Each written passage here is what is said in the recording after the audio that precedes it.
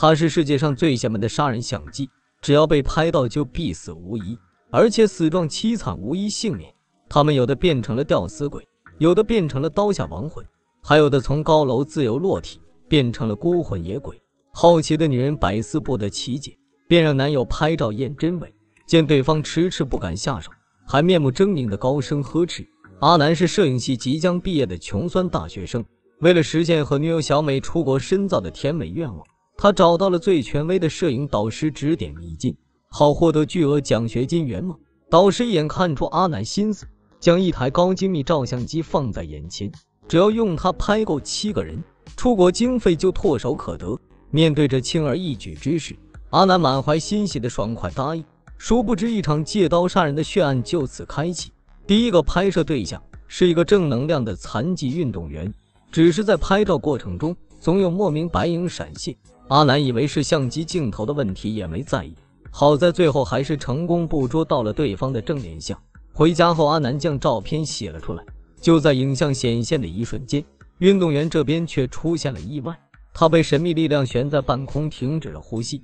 阿南对此一无所知。第二天照常出门拍照，看到一个乞丐淡然的捡吃剩饭，就顺手拿起相机按下了快门。在女友的引荐下，两人找到网红小吃摊的摊主当素材。没想到镜头里却突然出现了一个脏不拉几的女鬼影。女友看到阿南的迟钝表情后，不由得多看了几眼相机。原来之前一个学姐也曾使用过这台相机。这时好友寸头打来电话，告知了运动员已死一事。晚上阿南刚洗好照片，摊主俩老板就被邪祟入侵，双双丧命。阿南看到残忍的凶杀实况后，认为相机是隐形杀手，便找到导师解惑，可对方却说。现在每天都有人死，根本不足为奇。相机杀人简直荒谬至极。况且一个相机怎么可能会杀人？如果毕业前不能完成七人照片，那就只能与国外进修擦肩而过。为了那个遥不可及的心愿，阿南只好委曲求全，继续寻找拍照素材。另一边，女友找到了学姐家人了解情况。原来学姐一直是个阳光女孩，自从毕业前从导师那里得到这台相机后。整个人就变得萎靡不振，身子骨也变得越来越弱，最后干脆把自己给拍了进去，只留下了那台杀人相机。如果事实确实如此，那么阿南肯定正处于危险当中。小美赶紧寻找阿南告知真相，可此时的他正为三个年轻的业界精英拍照。等小美带着寸头赶到现场时，这三人早已英年早逝。感知到相机杀人的邪气后，两人便找到阿南对峙。对方却口是心非的不敢直视。小美见状，直接拎着相机横闯导师工作室。对方见她来势汹汹，露出一副若无其事的清高表情，还趾高气扬的反驳相机不会杀人，甚至用激将法让小美给自己拍照验货。小美毫不客气的拿起相机，正准备拍照时，导师背后的漩涡画像却自行动了起来。看到这个吸食魂魄的鬼像，小美直接摔门而出。同时还告诫阿南赶紧将其扔掉，可对方却鬼迷心窍，直接带着相机夺门而出。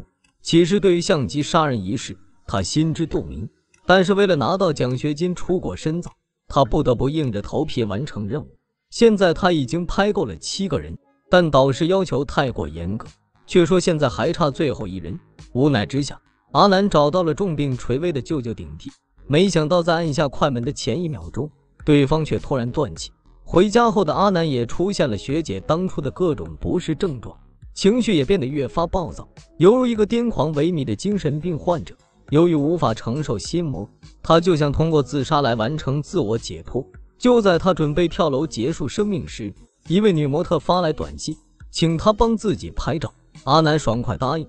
没想到正准备下手时，小美却赶到了拍摄现场阻拦，不仅用鳄鱼撵走了女模特，还将阿南一顿数落。甚至还逼他给自己拍照。阿南被邪魔蛊惑，手指向着快门慢慢靠近。另一边的导师已变成了赤眼怪，想控制的阿南做出选择。好在他靠着坚强毅力，一把推开了相机，然后跪在地上抱着女友苦苦忏悔，自己确实不该用相机故意杀人。为了寻找背后真相，三人开始上网查找那幅飓风画的相关资料。这时，之前的乞丐突然出现在窗外，阿南看到后惊愕万分。自己明明也给他拍过照片，为何他却平安无事呢？看来这就是相机的玄秘之处。阿南急忙冲进暗房查看照片找端倪，原来对方一直是低头状态，由于没有拍到眼睛，所以就躲过了一劫。而其他人则正好拍到眼睛，所以全部遇难。找到了相机杀人的奥秘之处后，三人又找到了开佛像店老板解惑，对方是一个资深怪谈家，他认为相机杀人真实存在，这主要是和撒旦邪教有关。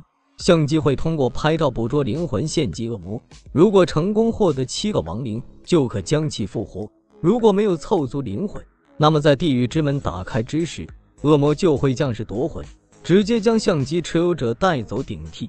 这也就是学姐被带走的真正原因。现在悲剧再次降临到阿南身上。其实那个飓风画像就是恶魔之眼，只要拥有它，就会有超强魔力。也就是说，现在的导师无人能敌。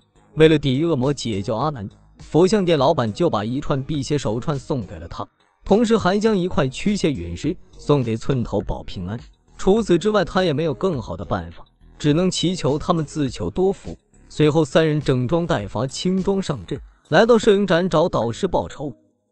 不管他是恶魔仆人还是邪教信徒，都不能让他继续残害无辜。看着这个人面兽心的伪君子，阿南灵机一动。决定用相机对焦，悄悄终结他。只是现场人多眼杂，根本拍不到他的正眼照。为了快点结束战斗，寸头直接上前驱赶多余人头。经过两人默契配合，阿南终于成功拍到一张满意靓照。就在他们万分欣喜的拿出洗好的照片时，却发现他的眼是闭着的，而照片的画框里竟出现了一个熟悉面孔，看着自己直勾勾的目视前方。寸头害怕的一句话也说不出来，本想好心扫恶，没想到却成了那个歪打正着的第七个亡灵。看到他呲牙咧嘴的恐惧表情后，阿南只好将辟邪手串送给好哥们。现在离地狱之门打开已不到一个小时，为了结束这场永无止境的杀人闹剧，也为了不让其他人被相机索命，阿南偷偷来到了导师画室，决定在恶魔之眼画像前完成最后的自拍救赎。就在他按下快门的刹那。导师突然来到镜头前，阻止他，要让阿南成为他的永久奴隶。阿南不想坐以待毙，直接转身准备给他拍张死人照。